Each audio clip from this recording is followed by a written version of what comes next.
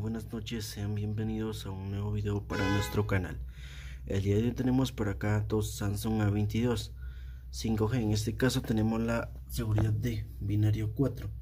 Y en este caso, bueno, vamos a sacar la cuenta por ISP. Bueno, yo este método lo hago más rápido que todo. Entonces voy a primero a tener que desamblar el equipo y soldar mi gente hacia mi adaptador de EasyJetag Plus. Bueno colegas, por aquí ya tenemos nuestra operación exitosa. Vamos a conectar el dispositivo y ver si es que conecta mi gente. En este caso yo tengo soldado lo que es los puntos hacia el adaptador MMC y vamos a borrar el FRP. Listo, acá toca alimentado por USB, entonces vamos a alimentar.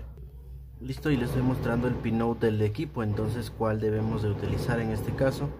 Y ahora sí vamos ya a entrar a nuestra herramienta de Easy Jetag Plus.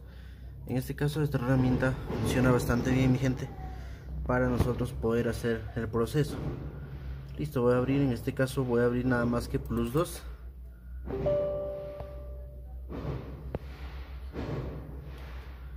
Listo, a ver, vamos a dar que sí. Y vamos a esperar en ambiente.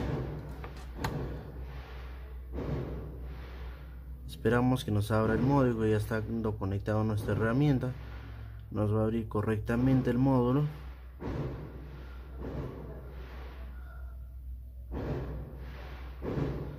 listo acá vamos a ir a la pestaña donde arriba donde dice esto voltaje o vamos a donde dice acá los tres puntillos. Y acá vamos a colocar un voltaje de 2.8 y bueno en este caso aparece de de 14 vamos a ver ahí a ver. Bueno en este caso se nos ha no nos ha reconocido. Listo colegas entonces lo que estaba mal era acá la configuración. Acá yo entraba y bueno pues acá estaba seleccionado otro tipo entonces de bueno en este caso está conectado vamos a esperar.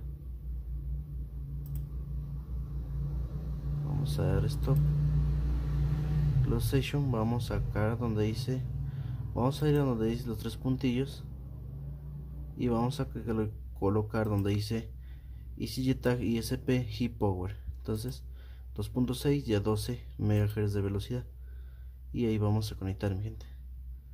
Bueno, en este caso vamos a escanear las particiones. Como ustedes pueden ver ahí no nos apareció pero lo marcamos la casilla de scan source y ahí ya nos va a cargar todas las particiones. Y listo como ustedes pueden ver acá tenemos FRP en esta línea y acá FRP en este caso vamos a borrar la cuenta es fácil colegas lo que vamos a hacer acá es muy fácil. Vamos a ir a la parte de abajo de color rojo donde dice actions y lo vamos a dar en remove FRP o la otra forma sería borrando persistent pero yo lo voy a dar acá nada más que en action y remove FRP y listo acá lo va a encontrar la partición. Obviamente el FRP se encuentra en el persistent y ahí lo va a borrar ¿no? en este caso ya con eso quedaría. Ahora sí cerramos sesión y listo mi gente. Eso sería todo el proceso de FRP en cuanto a la 225G binario 4 Android 2 bueno yo lo estoy mostrando en este video porque hay varias formas también de hacerlo. Hay formas manuales pero este video es más práctico y más rápido mi gente. Ya con eso tocaría solamente desconectar y configurar el dispositivo.